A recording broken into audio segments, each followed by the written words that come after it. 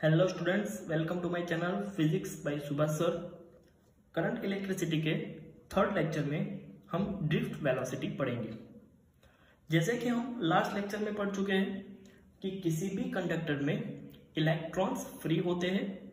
वो thermal energy की वजह से इलेक्ट्रिक फ़ील्ड की गैर हाजिरी में कंडक्टर के अंदर मूवमेंट करते रहते हैं। इस मूवमेंट के दौरान वो कंडक्टर के फिक्स, पॉजिटिव, आयन के साथ भी कोलाइड होते हैं। कोलाइड के बाद इलेक्ट्रॉन्स की स्पीड चेंज नहीं होती, लेकिन उसकी डायरेक्शन चेंज हो जाती है। अगर ऐसे कंडक्टर के सभी इलेक्ट्रॉन की वेलोसिटी का वेक्टर सम किया जाए तो ऐसे केसेस में सबका वेक्टर सम ज़ीरो मिलेगा। दैट मीन्स सारे इलेक्ट्रॉन्स की एवरेज वेलोसिटी ज़ीरो मिलेगी। लेट सपोज़ कोई कंडक्टर में एन जितने इलेक्ट्रॉन्स है। अब इस कंडक्टर के इलेक्ट्रॉन्स में आइथ इलेक्ट्रॉन की velocity let suppose u i vector है। हमें सबका एवरेज वेलोसिटी फाइंड करनी है। एवरेज फाइंड करने के लिए हम क्या करेंगे? सभी इलेक्ट्रॉन की वेलोसिटी का vector sum divide by number of electron तो हम उसको कुछ इस तरह से लिख सकते हैं। One upon N, sigma i equal to one to N u i vector लेकिन average velocity in absence of electric field zero मिल रही है। सो इक्वल टू ज़ीरो अब जैसे ही हम उसको इलेक्ट्रिक फ़ील्ड अप्लाई करेंगे तो सभी इलेक्ट्रॉन्स को इलेक्ट्रिक फ़ील्ड की वजह से कोई फोर्स लगेगा। वो फोर्स का मैग्नीट्यूड और डायरेक्शन कुछ इस तरह से हम लिख सकते हैं। F vector equal to minus e E vector यहाँ पे इलेक्ट्रॉन के ऊपर लग रहे फोर्स की direction in opposite direction of electric field होगा। अब इस इक्वेशन में फोर्स F इक्वल टू अगर एम ए रखा जाए तो हम इलेक्ट्रॉन का एक्सेलरेशन भी फाइंड कर सकते हैं। तो अगर यहाँ पे m a equal to minus e E हो जाएगा। यहाँ से अगर ए को सब्जेक्ट बनाया जाए तो इलेक्ट्रॉन का एक्सेलरेशन होगा a vector equal to minus e vector divide by m जहाँ पे एम मास ऑफ़ इलेक्ट्रॉन है। अब यहाँ पे मैंने कोई इलेक्ट्रॉन की रैंडम मोशन दिखाई हुई है। हम देख सकते हैं कि मैंने एक फिक्स लाइन के साथ इलेक्ट्रॉन की रैंडम मोशन कोई इलेक्ट्रॉन ए से बी तक जा रहा है। मोशन के दौरान वो कोई पॉजिटिव फिक्स आयन के साथ कोलाइड होता है। आफ्टर कोलिजन उसकी डायरेक्शन चेंज हो जाती है और ऐसे ही मूवमेंट चालू रहती है। अब जैसे ही उसको इलेक्ट्रिक फ़ील्ड अप्लाई की, यहाँ पे electric field right to left की डायरेक्शन में है तो अब इलेक्ट्रॉन को इलेक्ट्रिक फ़ील्ड की वजह से फोर्स लगेगा। इस फोर्स की वजह से यही इलेक्ट्रॉन का पाथ जो पहले ए टू बी था अब वो पाथ चेंज होके ए टू बी डैश हो रहा है। आप देख सकते हो इलेक्ट्रिक फ़ील्ड की वजह से यहाँ पे इलेक्ट्रॉन बी से बी डैश तक ड्रिफ्ट होता है। इस ड्रिफ्ट के दौरान इलेक्ट्रॉन की जो वेलोसिटी होती है, उसी को बोलते हैं ड्रिफ्ट वेलोसिटी नाउ लेट हम ऐसा कंसिडर कर सकते हैं कि कोई कोलिजन के बाद इलेक्ट्रॉन की वेलोसिटी यू आई वैक्टर है। अब टी आई टाइम के बाद उसकी वेलोसिटी कितनी होगी? तो वो हमें फाइंड करना है तो हम डायरेक्टली इक्वेशन लगा सकते हैं। v equal to v zero plus a t जहाँ पे v i vector after t time t i time के बाद वेलोसिटी का फॉर्मूला है v i vector equal to u i vector initial velocity plus a into t acceleration की value यहाँ से रखेंगे तो minus e E upon m into t i लेकिन जैसे कि हम पढ़ पढ़ गए कि in absence of electric field average velocity of electrons u i vector is zero तो यहाँ पे यू आई वैक्टर तो ज़ीरो हो जाएगा। Now let the average time between two successive collision is denoted by tau and called relaxation time relaxation time के बारे में आप लोग स्टैंडर्ड 11 में भी पढ़ चुके हो कि इलेक्ट्रॉन के किसी भी दो सक्सेसिव कॉलेजन के बीच का ये एवरेज टाइम है। एवरेज इसलिए क्योंकि कोई दो सक्सेसिव कॉलेजन के बीच में ज़्यादा टाइम लगेगा, कोई दो सक्सेसिव कॉलेजन के बीच में कम टाइम लगेगा, हमें सारे कॉलेजन के बीच में जो टाइम लग रहा है उसका एवरेज लेना है, इसलिए हमने उसको टाउ से डिनोट किया हुआ है। चलो, यहाँ पे ये जो टी आई हमने लिया हुआ है, वो इस टाउ से कुछ इलेक्ट्रॉन्स के लिए ज़्यादा होंगे। कुछ इलेक्ट्रॉन्स के लिए ये टाइम टी आई टाउ से कम होगा। तो हम एवरेज उसके लिए टी आई की जगह हम टाउ ही लिख दे। तो इस इक्वेशन को कुछ इस तरह से लिख पाएँगे।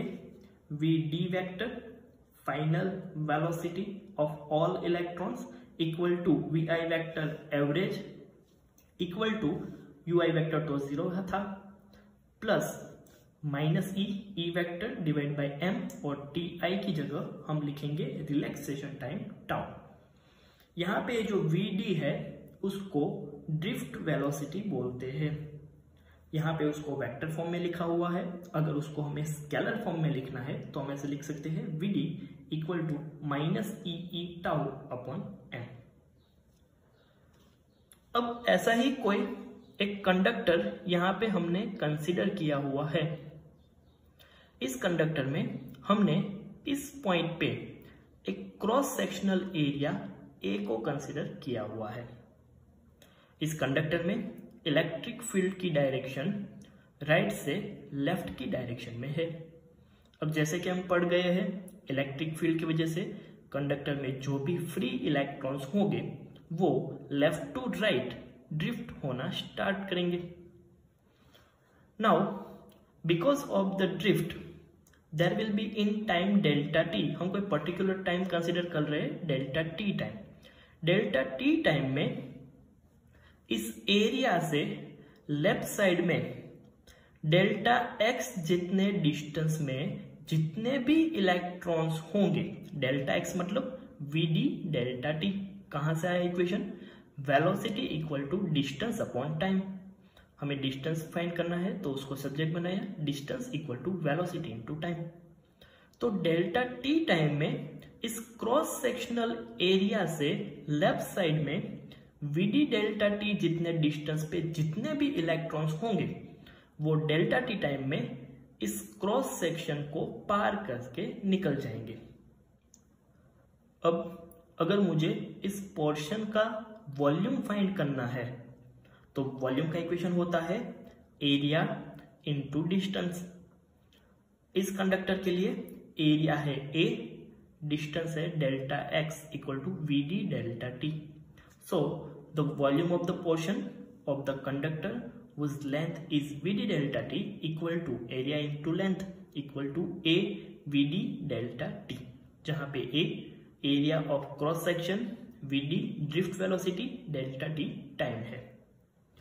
अगर इस कंडक्टर के लिए number of electrons per unit volume N है तो एबीडी डेल्टा टी वॉल्यूम के लिए नंबर ऑफ़ इलेक्ट्रॉन्स हो जाएँगे, जिसको हम कैपिटल एन से डिनोट करें तो हो जाएगा कैपिटल एन इक्वल टू इसको मल्टीप्लाई बाय एन करेंगे तो हो जाएगा N A V D delta T. अब इतने पोर्शन में हमें नंबर ऑफ़ इलेक्ट्रॉन्स मिल गए। नंबर ऑफ़ इलेक्ट्रॉन्स के ऊपर से इतने पोर्शन में कितना चार्ज है, वो भी हम फाइंड कर सकते हैं। हम चैप्टर नंबर वन में पढ़ चुके हैं क्वांटाइजेशन ऑफ़ चार्ज में।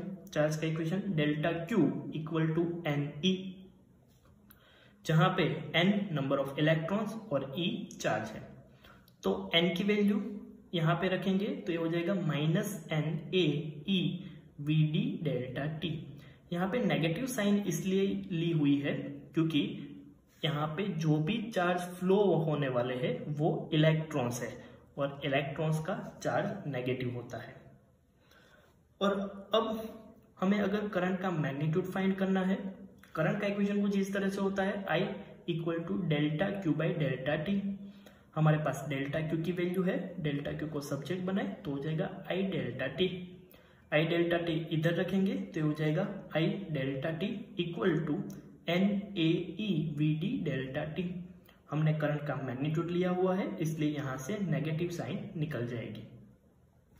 ड्रिफ्ट वेलोसिटी वी डी की वैल्यू यहाँ से रखेंगे, यहाँ पर भी हमें वी डी का मैग्नीट्यूड ही लिखना है।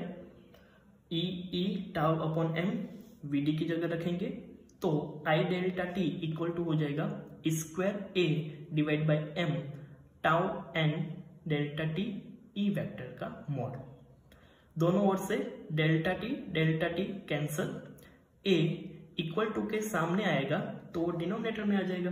तो आई अपॉन ए जो हम लास्ट लेक्चर में पढ़ चुके हैं आई अपॉन ए को करंट डेंसिटी बोलते हैं तो हो जाएगा J vector mod equal to यहाँ पे बचेगा N square tau E upon M अगर हमें इसी करंट डेंसिटी को इन फॉर्म ऑफ़ वेक्टर लिखना है तो कुछ इस तरह से लिख सकते हैं J vector equal to N square tau upon M into E vector last lecture में हमने ये भी पढ़ा था current density J vector equal to sigma E vector जहाँ पे सिग्मा कंडक्टिविटी ऑफ़ मटेरियल है।